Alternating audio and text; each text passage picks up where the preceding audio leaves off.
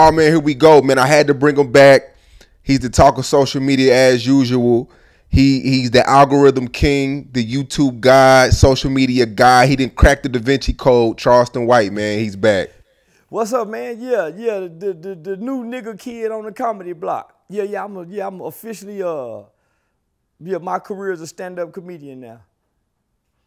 After all these years of working together, I've never seen so many people mad at you as they are right now. Oh, they here right now? Every interview I've done, your name comes up. Every every barbecue, Easter just passed, your name was all the old heads at during Easter uh, was bringing you up. Your name's everywhere right now. Oh, they, oh, they, uh, for what? What I done done this time? Yeah, I, I mean, yeah, I done done so much. I mean, of course, the the Gillie situation, man. A lot of people, you know, a lot of people love you, but it was just, it was. This is that one thing where people just don't agree with you. Uh, well, uh, they they agree with King Von. They agree with Durk. Uh, I, they agree with Julio Foolio. Uh, I remember I, I talked to uh, Bibby's dad. Mm. Uh, I've talked to Tooka's mom. Uh, I, man, they where they done FBG Duck's mama, Mama Duck. So why is it that they so mad about Gillie's son? And he was a grown kid, talking gangster and playing gangster. So it's only two outcomes of this life, right? So why they so mad now? When it, we watch drill music evolve and erupt, and, and if I'm not mistaken, uh, Chief Keef's new song is is dissing Tooka. Oh, one of Chief Keef's new song is dissing Tooka. Yep. So yep. So here we go again. I'm making everybody look like a hypocrite, but because Gillie is one of their favorite celebrities, it's easy to feel sorry for him and be mad at me. And I'm telling everybody who mad at me, suck my that nigga son. Give a fuck about that nigga son. That nigga son was playing gangster. And gangsters get go to jail. And when gangsters go to jail, I don't cry. And I don't have no respect for the dead, homie. I don't have no respect for the dead. I have respect for my neighbor. I, I honor my mother and my father. I love my brother. I pray for my enemies. That I, yeah, nah, nigga, but I don't give a damn about the dead. When I go to the graveyard, I walk on top of the tombstone. Yeah, I spit on the graves. Yeah, nigga, I don't give a damn about the dead. y'all do. I respect the living. So I'm saying to all y'all people, how can y'all have so much respect and honor for the dead, but not honor your mother and your fathers? So, nigga, I don't give a damn who mad. I done said worse before. And I'm gonna say worse again. Did this Gillie Charleston White back and forth, did it start with the Pop Hunter situation? Yep. That's where all this started from. Because I didn't know who Gillie the King was. I just saw the Pop Hunter situation. We done that interview, right? And that's when yeah. Philly banned me. Back then, that's when we that's when I first had my problem with Philly. They was hollering about I couldn't come to Philly, what they was gonna do. So Gillie the King, or whatever the nigga name is, he jumped in my inbox and said, Is there a problem, Goofy? I'll be in Dallas, mm. and when I see you, I'm gonna slap you. And my response was, nigga, you ain't never slapped a nigga who will kill you. So we've been going back and forward. So he hopped in your but, DM. Now he hopped in my DM. Okay. Remember, I screenshotted it and sent it to you. Yeah. Yeah, you did. I remember. So when his son, when his son got uh I remember being on live when the news broke that day. And, and, and one of my one of my partners, who I consider a partner, Kareem Blitz, out of New York, got on my live and he was chastening Gillie, saying, This is what you get. You promote these lyrics, you promote this energy. As a matter of fact, Gillie, when you had King Von and Durk on y'all podcast and they start singing the songs about smoking Tooka, y'all were dancing to it. Hmm. Y'all were dancing to it. When Pooh Shiesty called home from prison, that nigga was talking big dog talk. They wasn't rebuking that shit. when Jay Prince was on there making threats, they didn't check Jay Prince. So, nigga, y'all promote this detrimental shit. So here I come, nigga. From day one, I've been against it. If your kid die playing gangster, I will laugh. If me and you get into it and your kid die in a car accident, I laugh. If your kid fall out the car to get run over by a truck, I laugh if I don't like you. If me and you get into it and your baby get molested, I make mockery of your baby getting molested. So fuck your baby, nigga. I don't like you or your kids. I'm that kind of nigga. It's no different than the gang banging nigga when they ride through our neighborhoods and shoot these guns, knowing that there's kids in the neighborhood. It's no different when Kobe Bryant got in his helicopter and they said, hey, Kobe, it's not safe for us to fly. And Kobe said, fly anyway and put everybody's life in jeopardy. He didn't, he didn't consider those other people. Nigga, I don't it sometime. Am I wrong? I want to be wrong sometime when a nigga fucking with me. When a nigga fucking with me, I want to be as wrong as possible. So, nigga, I want to be wrong. Gillie's son and fuck Gillie. But this is how this came about. I showed that nigga some compassion, my nigga, when his son got killed. You did. You did. I openly showed compassion, and people on, on say cheese me. too. On say cheese. Yeah, I showed compassion. I, I poured my heart out for the man because I put myself in his shoes. Now I did this openly in front of everybody. Somebody wrote a book, an author, the author of my book. I got a children's book out called Every Neighborhood Needs a Mr. Charleston. Mr. Gaines wrote the book. Mr. Gaines is a former elected official out of Detroit, out of, I mean, out of Michigan. He used to be a commissioner in Michigan. So he's wrote several books. So he's a fan of Wallo and Gillies. He's a fan of Charleston White. So by him being a fan of Charleston White and Wallo, he was hoping that he could promote the book to, to Gillie and Wallo them. So you know, I, I openly showed compassion, homie. So the dude promoting the book, Mr. Gaines, uh, man, Gillie, Gillie, you know, he got disrespectful. You know, why you from working with this dude? Uh, he's a rat. He's a snitch. He ain't never been nothing in his twenties. And I'm saying, nigga, uh, is that how y'all celebrity niggas look at us? Because y'all became celebrities and, and we were single dads or raising our children while you were writing rap lyrics on the road? Nigga, we was at home raising our kids, making right choices where I don't have to snitch. See, I ain't been no criminal, homie. I wasn't no criminal in my 20s. I wasn't no criminal in my 30s. I've never, I, I've never been an adult criminal. So, nigga, so, uh, I said, well, damn, this how this nigga really feel? Even if we had these feelings in the beginning, homie, when your son died, I went out my way and chastised a friend and told my friend, nah, homie, you wrong. Nigga, you go do this. So, nigga, uh, I take my compassion back. Your son.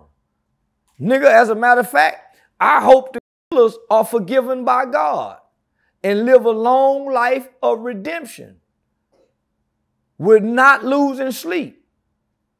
I ain't lost one sleep, nigga, over my victim. I've never lost sleep over our victim. So I pray that his killers, nigga, live a long life of redemption and don't lose one ounce of sleep over cheese. I think Cheese got what he deserved, nigga. Like every gangster who died in the streets, they get what they deserve. Like every gangster go to jail, nigga, they get what they deserve. So who crying for a gangster nigga who got killed? Who feel bad because we making mockery of a gangster who got killed? Ain't this what we do in the black community?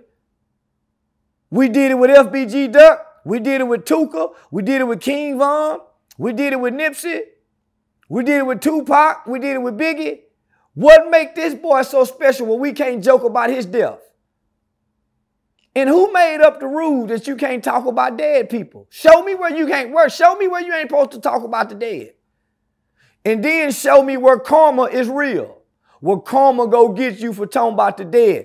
I'm still waiting for white people to get their karma for slavery. Slavery lasted 400 years. How long we been out of slavery? And white folks still ain't got their karma. What about the police officer who was rehired for Tamir Rice? He ain't got his karma. So I don't believe in karma. And I think you can make fun of the dead and nothing go happen to you. Now, I do want to talk about the the karma thing because you called your son on live, and and a lot of people are are are, are speaking about you know you're giving now you're you're letting energy into your son's life now. Now people are wishing and they know you got a son, so they want something to bad happen to your son, so it could be a ha ha, this and that.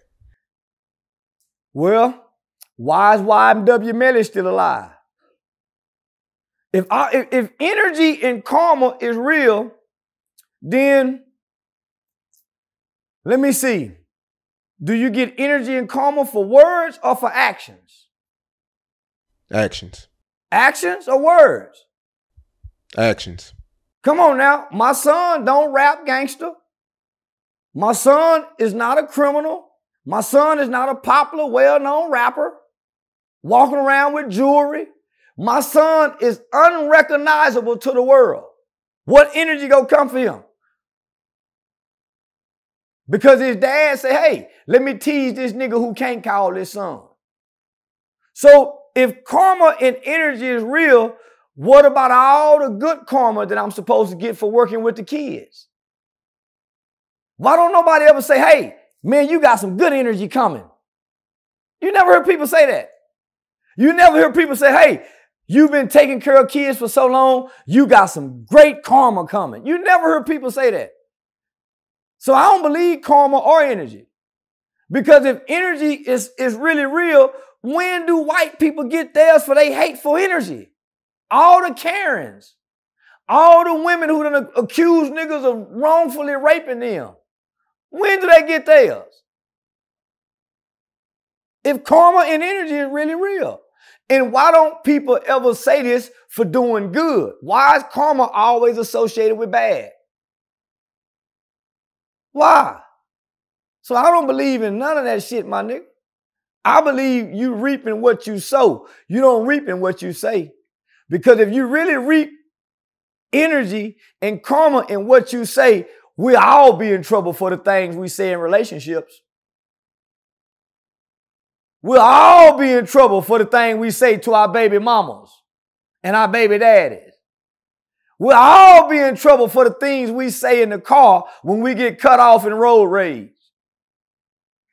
If karma and energy is really real. So I don't believe none of that. I don't think nothing gonna happen to my son. So what was Gillie's son karma? What did he do in life? What did Tamir Rice? Trayvon Martin? What, was, what karma got them where they at? And when do George Zimmerman get his karma? Think about this. George Zimmerman sold the Skittles and the gun. And George Zimmerman got a lawsuit out against Trayvon Martin and mom and daddy. When do he get his karma? When do the Catholic priests get their karma for all the molestation that they did? When do the child sex traffickers get their karma? When do the politicians get their karma? Why is karma only for poor people? Because you never hear rich people talk about karma. Because they rob, steal, kill, and destroy. You never hear rich people talk about karma. That's a poor person's concept. And by the way, that's a Buddhist belief. Let, let me ask you this, though, because I, I've seen you get into it with a lot of people. But don't you feel like sometimes, well, everybody you get into it with, do you always got to go below the belt? Yeah. Why? I, I go to below the belt with my wife. If me and my brother arguing, nigga, ah, that's why your daddy don't come see you, nigga. That's why your grandmama on your daddy's side died. I go, listen, I go to below the belt with anybody I have an altercation with. Because, nigga, when the gloves are off, the gloves are off. Who fight with limitations? Who put restrictions on on fighting? Well, man, you no, homie. When we into it, nothing is off limits. Even if you my woman. Yeah, that's why your daddy tried to when you was a kid. That's why your daddy was molest you and your sister. Ho got me up. Now I'm a mean motherfucker when we arguing. You better not, man, no, I'm a mean motherfucker. So no, so let me be. Because you already know what kind of mouth I got. So let me be.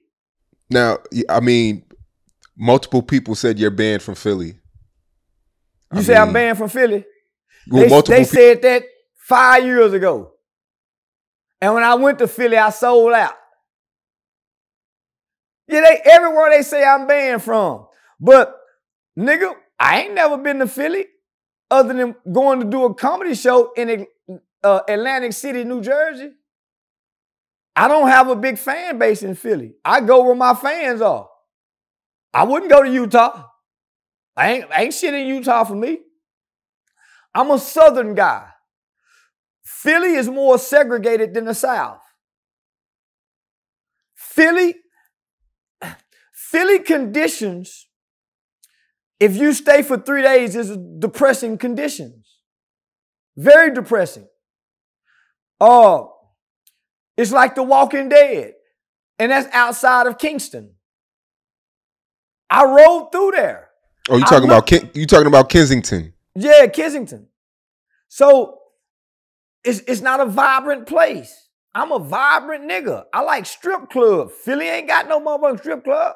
Got a few of them. Nigga, they ain't got like what we know. It, it ain't like ecstasy and shit like that, nah. That's what I'm saying. So, so to come from the South in such a in, in a metropolitan area like Dallas, Fort Worth, to go to Philly you wouldn't want to stay long because just the visual environment, just the, the, the, visual of how the environment looks, homie, it looks gloomy. The buildings are old. And I'm saying, I'm saying this when I was there. How can anybody thrive here? Look at these conditions. How can it look at the kids, homie? And, and, and the violence, the violence amongst the youth. Is unlike no other. So if that's the case, then the future for Philly doesn't look bright because the children are 100% of the future. So when you look at the condition that these children are born and grow up in, you look at the lack of resources in these conditions, you look at the despair, homie, who's gonna be who's gonna thrive out of those conditions? Who's gonna make it out of those conditions? So the city don't put back into the infrastructures. When you look at the grassroots organizations, they're not getting a lot of funding for after school. Home, I studied that shit. Remember, I was gonna go back and do trash pickup. Remember, I was gonna partner with Allen Iverson, Big Reed, to come do community work there. So I started studying the conditions.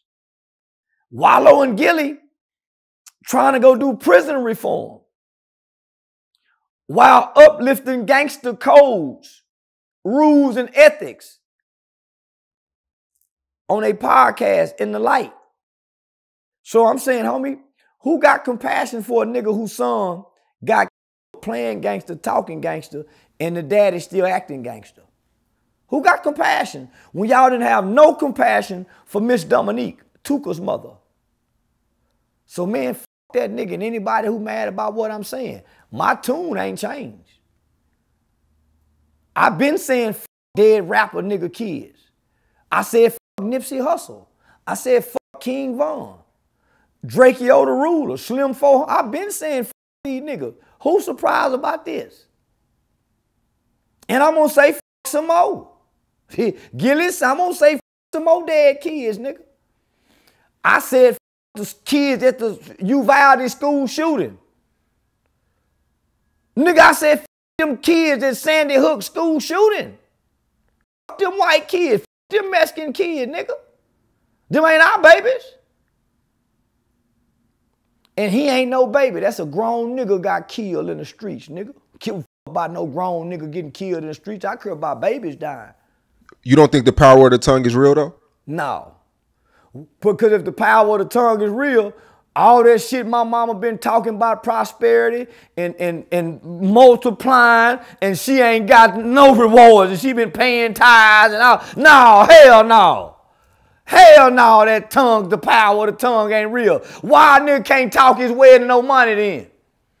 Nigga be, nigga, I'm, I'm for the hit, boy. I'm, I'm just my year old. Nigga, why nigga can't talk his way to no money if the power of the tongue is real? That's all I want to know. Why nigga can't talk his way into success if the power of the tongue is real? That's all I'm saying. So I don't believe in none of that. I believe in you reap what you sow in actions, not you get back what you say. Because you say a lot of shit. People say a lot of shit they don't mean and they don't do. But nigga, I mean every goddamn thing I say. I What mean people- everything I say because I think about the things I say. What did people around you say? Like your mom or maybe Dewberry or there's people in your circle. Do they agree with everything you do? Like, is there somebody in your circle that's like Charleston, you taking it too far, my nigga? No. Hell no. Is, is that because you don't allow people in your circle that don't agree with you? Like you like people that agree with everything you do? Or they just y'all all think alike? Uh, we all think alike. My mother, my mother don't watch social media at all. So she don't know what I say. But she didn't heard me say somebody dead. Kids say, son, I'm not supposed to say that. She say what you say. Some the I say, mama, if that's true, then why your tires ain't multiplying? If that's true, so I say, mama, that's y'all belief. M- maybe it's multiplying in health. Everything don't gotta be money though. Man, my mama done caught coronavirus seven times. Yo, shut the fuck. Then my mama done had the COVID 19 seven times and she got the vaccine. Shut the fuck up, bro. Nigga, I don't, who want to multiply in health? Don't nobody want to multiply in health the way we eat. We want money. Nigga don't want to be healthy bro.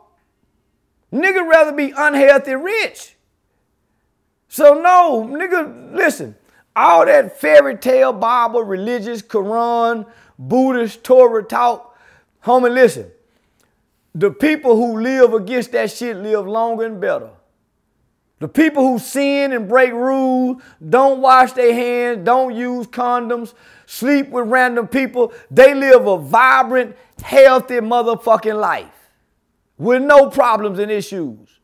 Say what you want to say, do what you want to do. But homie, I've said worse. Nigga, I wish R-A-P-E on A-S-I-A-N babies. I done said worse. I made a whole song talking about K-I-L a white man, R-A-P-E a white woman, and a white baby in the head. I made a Oh, yeah, song. we got. Oh yeah, we got to bleep this out, man. you you see, so now, homie, so I've said worse. Matter of fact, I just lost my Instagram account. They took my Instagram for promoting sex trafficking. Because I said I'm looking for s- s- They took my Instagram for that. It says sex promoting sex trafficking. I've said worse. But nigga, when you look at my actions in life, you can't never hear nobody say what I've done. It's always what he said. So I stand on the fact that actions speak louder than words. I can come online in my character form and say F all the dead people I want, just like the rappers, and cut the phone off and go work in the community and act like I ain't said nothing. Just like the rappers. Yeah, different. man. I mean, every like I said, every event on Easter Sunday was. I mean, especially at my house, you you were the topic of discussion. Um, every phone call, you know, have you spoke to Charleston? Is he gonna apologize? No, he- I'm not gonna apologize. I hope I hope I made his whole family cry with these words. I don't care about hurting no nigga feelings. Don't give a damn about that, my nigga. If we get into it, my nigga, it's on. It's on. How'd you get those text messages that you shared though? Did the promoter sent it to? I mean, the the guy that y'all were partnering with, he sent it to you. He my business partner. Why wouldn't he send it to me? Especially when my nigga done seen me show compassion for him. Why wouldn't my nigga send it to me? And I, I went publicly, nigga. I stood out before the world. And I went against a friend. I stood out before the world and I went against a friend, somebody I respect and admire, and said, nah, homie, you wrong. Let the man make it. I defended him. So why would my nigga come back and share this with me and he saw me do this? Some people say, well, he don't want to upset a friend. I'm the kind of friend go be mad if you don't upset me, nigga. I don't, no, nigga, no. This ain't me and my now this ain't got this me and this this me and another nigga. So if my partner, my friend, my business, yeah, nigga, let me know what this whole ass nigga done said. Hmm. When you read that, I mean, what was that? Was you was you was you hurt? Was you angry? Was you disappointed? Did you feel um like what when you read that Gillie when he said all that? Oh, I thought to myself, you should have made fun of his son the day he died, nigga. Yeah, yeah, yeah. You should have you should have made fun of him that day. That's what you get for showing compassion. I was taught, and I believe, that only the strong can show compassion for the weak. So I was strong, homie, in, in showing them some compassion. And uh, I regretted it. Yeah, yeah, I regretted it. That's why I got so ugly. Yeah, yeah, I was disappointed in myself. Yeah, I should have been mean from the get-go when the son, I should have been mean the time he died. It was, yeah, yeah, yeah. So that's why I went in so hard. Yeah, the, the I pop was disappointed myself for giving that whole ass nigga some compassion when that bitch ass nigga didn't deserve it. Yeah. The the Pop Hunter shit was fucked up because he was a kid at the time. But then it's like now if you pay attention, it's a lot of rappers who ratted afterwards and got away with it. And still cool, still getting big interviews, still getting that limelight. But Pop Hunter as a kid, after that came out, everybody shut him off. Homie, what what what, what they fail to realize is uh because of what because of that situation Homie, this kid went to the verge of, of almost suicide. Yep. Let, come on, homie. They pushed this man. This kid was at the height of, of, of, of his rap career. Had one of the biggest songs with Uzi Vert, little Uzi yep, Vert. Corvette, Corvette. Gillie Nim was the one put that paperwork out because he was pop hunter popping, and he and he wasn't a street kid, and they were trying to shame him for talking gangster put the paperwork out, and Cheese was supposed to blow up. Gillie them did that. So when I didn't know nothing about none of this, I just know the whole rap community was shaming this kid Pop Hunter. I done my first interview with you talking about it. That's what made Gillie threaten me. That nigga threatened me, homie. That nigga threatened to call me bodily harm because I done an interview. Why wouldn't I diss his kid? When I showed compassion and mercy for him, even after he threatened me. Talk to me like, like he'll slap me. Nigga, I'll shoot you in your face, nigga. Nigga, you slap me, you'll get Wallo shot too.